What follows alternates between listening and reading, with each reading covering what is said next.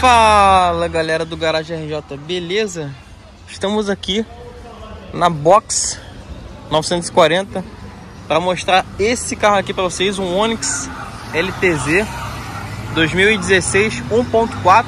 Esse carro tem 106 cavalos no etanol, 98 na gasolina, câmbio automático de 6 velocidades. Ele tem detalhe aqui da lanterna fumê, as rodas nesse black piano com um diamantado. Você repara ali, botaram aqui a coluninha da coluna B em black piano. É um carrinho legal, um design bem bonito, um carro ainda bem moderno, né? O design dele bem jovial. Tem um farol máscara negra, com esse detalhe aqui azulado. E aqui ele tem um farol de neblina dianteiro com esse aplica aqui, né? Cromadinho aqui na, na frente do carro. Mostrando aqui pra vocês, ó. Esse carro é do amigo, galera, aqui. Ele é da Box 940. Esse carro tá aqui na rua Luiz Beltrão. Aqui no bairro de Vila Valqueira, aqui na rua Luiz Beltrão. Aqui é a Box 940. Ele tem essa oficina aqui de pintura, funilaria, entre outros serviços pro seu carro. E aí ele compra alguns carrinhos para revender. E aí quando ele acha, ele acha um carro muito bom, ele compra esse carro, faz uma, um polimento nele, deixa pronto para você usar o carro e aí ele coloca à venda. E aqui está esse Onix LTZ 2016. Muito bacana o carro, um carro 16 16. A FIP desse carro, se eu não me engano, é 57, 58 mil. Ele falou por 55 mil ele vende o carro. Se você quiser negociar, entre em contato. Contato dele eu vou estar colocando na descrição do vídeo. Então, com um carrinho bem bacana. Carrinho aqui para você poder usar no dia a dia, né? E para viajar também, um carro bem confortável, um carro câmbio automático. O câmbio desse carro é bem confiável. Detalhe aqui do banco em tecido. Ó, vou mostrar para vocês. Esse carro tá com GNV. Ó, detalhe aqui da porta dele, que você puxa para fechar a porta. Aqui você baixa os vidros, ó. O vidro um toque desce, um toque sobe. Pé no freio. Ó, o carro já ligou, carro bem confiável. Volante Coisa detalhe aqui em black piano. Painel do carro digital. Detalhe aqui da multimídia. A gente tem câmera de ré. Esse é o estacionamento. Ela não vira o ângulo. ND e aqui trocas manuais. Temos aqui porta-objetos, tomada 12 volts, entrada USB, freio de mão, porta-objetos, porta-copos. Olha o banco, ele tem esse dali no tecido com esse vermelhinho né, no, no, banco. É um carro muito bacana, galera. Você aí que quer um carrinho diferente. Aqui, galera, na multimídia você tem que pressionar mesmo, senão ele, ó, tá vendo? Isso aqui são os botões físicos, ó. Mas aqui, ó, esse aqui é só você encostar, ó. Os de cá, ué, parece que o de cá também. E tava eu apertando o botão, só dá um toque, ó. Aqui você aumenta e diminui o volume do rádio. É basicamente um botão touch, né? Esse daqui é o da home da multimídia. Assim tem parte de telefone, foto e vídeo, áudio. Bem interessante. Então, a parte de áudio, aí você escolhe aqui a rádio. Esse é o MyLink 1, né, que o pessoal chama, porque tem o MyLink 2, que é o mais moderno. Esse aqui, se não me engano, foi até 2015, 2016. A partir de 2017 já era o outro MyLink. Ó. Eles não deixaram barato não. O som do carro é bom, galerinha. Muito interessante. Aqui tem porta-objetos. Deixa eu ver se ele... Ó, só pressionar que ele desliga o rádio fica com esse display aqui. Vou mostrar pra vocês aqui, ó. Sair do carro. Ele já mostra que o painel com 83.411 quilômetros, tá?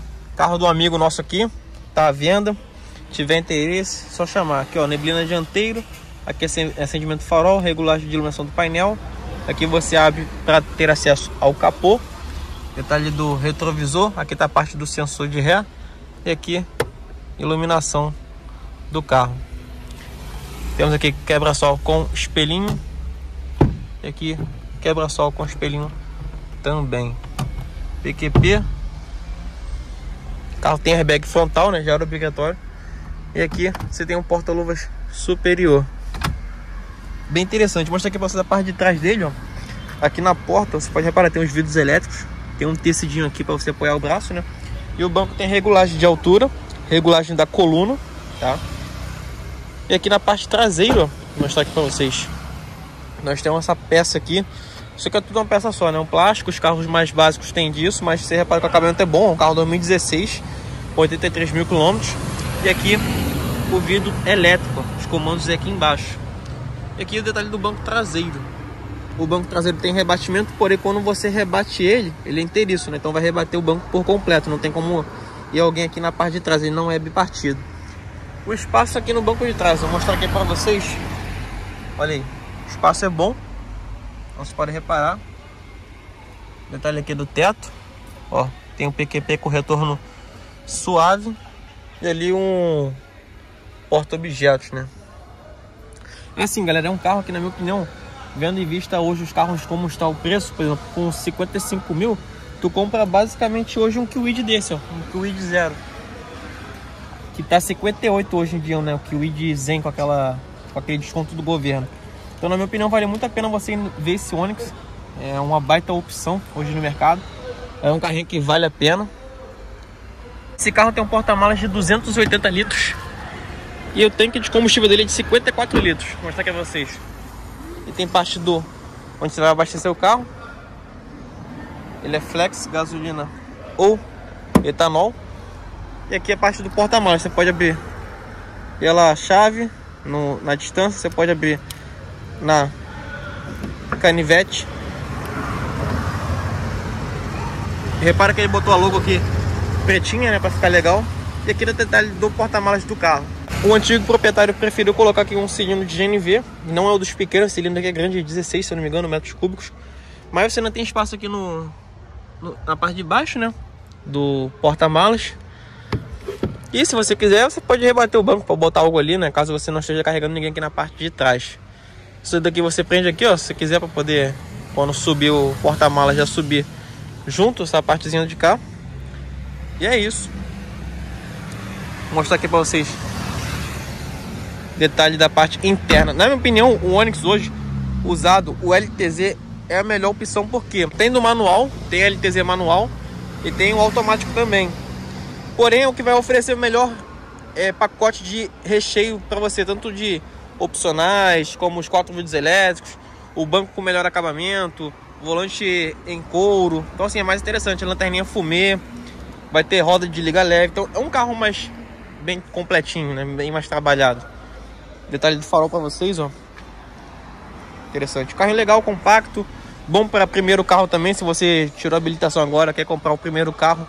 É um carro de ótima opção, ainda muito moderno, visual bonito, então não vai fazer feio. Ah, deixa eu mostrar aqui pra vocês, ó.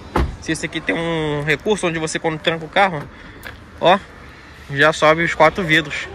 E se você pressionar, ó, pressionei, ele já baixa os quatro vidros. Bem interessante, né, galera? Realmente vale a pena aí você dar uma olhada no Onix, onde você também tem retrovisor elétrico, aí que você puxa para abrir o capô. O Kwid que custa mais caro, tudo bem que é zero, mas não vai ter o retrovisor elétrico na versão Zen. E na minha opinião, o Onix é bem mais caro que um Kwid, né? Bem bacana, né? Esse carro vem com rodas aro 15. Ele tá com o pneu a medida 18565 aro 15, 18565 aro 15. Mostra que você já tá ali do capô onde está o motor 1.4 desse carro. Olha aí. Detalhe do capô. E aqui o motor 1.4, 4 cilindros, tá vendo? Cada bobina é independente, né? Cada aqui é uma bobina e aqui é uma vela. Uma bobina, uma vela. Você repara que o motor não tem vazamento, tá todo sequinho, a bateria LA. Aqui você levanta para manter o capô do carro erguido. Esse carro aqui ainda tinha direção hidráulica. O, a partir de 2018, se eu não me engano, já era direção elétrica. Então vale muito a pena você dar uma olhada no Onix LTZ. A plataforma, galera, é família 2. Não, o motor é família 1 e a plataforma é gama 2. Eu confundi, troquei aqui. Então o motor é família 1 e a plataforma é gama 2. Bom, falando aqui da parte de potência desse carro, nós temos aqui 106 cavalos de etanol, 98 na gasolina com 13 kg de torque em ambos os combustíveis. Esse torque está disponível a 4.800 RPM, ele trabalha com câmbio automático de 6 velocidades, um código dele é um GF6. É um câmbio bem confiável e vem outros modelos da marca como Spin, Cobalt, não só no Onix aqui que estamos vendo. Carro com 83 mil quilômetros, realmente bem cuidadinho, muito novo. Você ligou, o carro já pegou. Vou mostrar aqui a vocês, ó. Temos aqui a haste do limpador de para-brisa. Detalhe aqui da seta, farol alto. Ah, uma coisa que eu quero mostrar pra vocês é a parte de iluminação dele, ó. Ó, já ligamos aqui o carro. Ó, o carro redondinho. Nenhuma luz acesa. Liga aqui a parte de iluminação dele pra vocês, ó. O toque sobe o vidro. Repara que ele fica todo azul, ó. As luzinhas quando você acende, ó. Tá vendo? Tudo azulzinho as luzinhas dele do interior do carro. Ó, essa aqui é a parte traseira dele, ó. Parte da lanterna. E aqui na dianteira do carro. Tá vendo? O carro é bem bonito. E esse detalhe azulado dá um, dá um charme quando você liga o farol à noite, né? Fica bem interessante. E agora eu vou mostrar pra vocês o interior dele. Como que é a noite, ó. Olha que interessante. Aqui você liga o ar-condicionado. Olha que bacaninha. Vou botar aqui o carro na vaga, que a gente puxou o carro um pouco para frente para poder mostrar vocês, ó. Ó, câmera de ré. E ele tem o sensor também, ó. Tá vendo? sensor aqui de proximidade.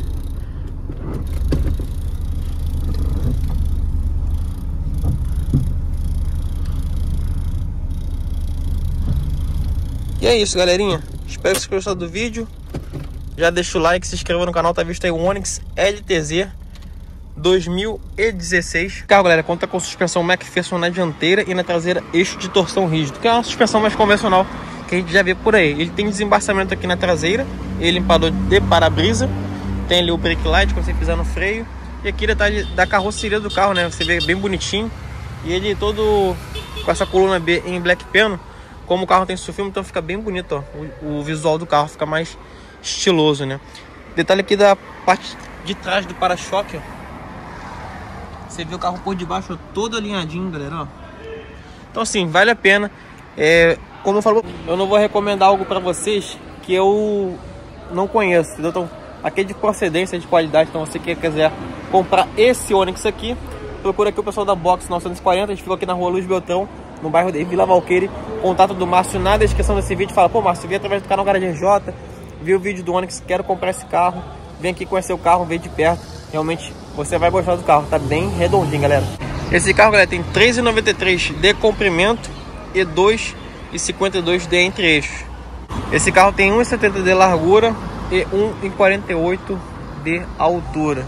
É um carro com boas medidas para o porte que é um carro compacto e você repara que ele também tem bastante espaço né, interno, bem confortável. Bom do Chevrolet, galera, com, assim, seus concorrentes do Onix, né? Argo, é, HB20. Parece que o HB20 é o que mais se aproxima do Onix em termos de conforto e espaço interno. O peso total desse carro, galera, é de 1.108 kg. O peso total desse Onix LTZ. 0 a 100 dele em 12 segundos com velocidade máxima de 171 km por hora. Coeficiente aerodinâmico de 0,35 Consumo no etanol 6,9 na cidade e na estrada 8,5 no etanol. Lembrando esse carro automático com câmbio de 6 velocidades. Já na gasolina 9,9 na cidade e na estrada 12,2 o consumo desse Onix LTZ. A autonomia desse carro na, na cidade com o tanque cheio de etanol é de 373 km, já na estrada 459 km com o tanque cheio de etanol. Na cidade na gasolina. Esse carro tem uma autonomia de 535 km com o tanque cheio de gasolina e 659 com o tanque cheio de gasolina na estrada. Esse carro tem correia dentada, injeção multiponto. É uma mecânica bem robusta, bem fácil a mecânica dele. Muita gente já sabe mexer na mecânica do Onix. Peça também é fácil de achar peça porque fabricou muito desse carro, né?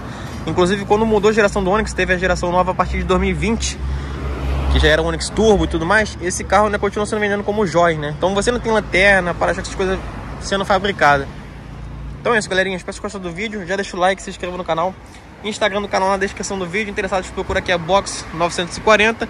Nosso Instagram na descrição do vídeo, arroba GRJ021. E e-mail do canal Garagem RJ Digital 21 arroba gmail.com. É isso aí, galerinha. Valeu!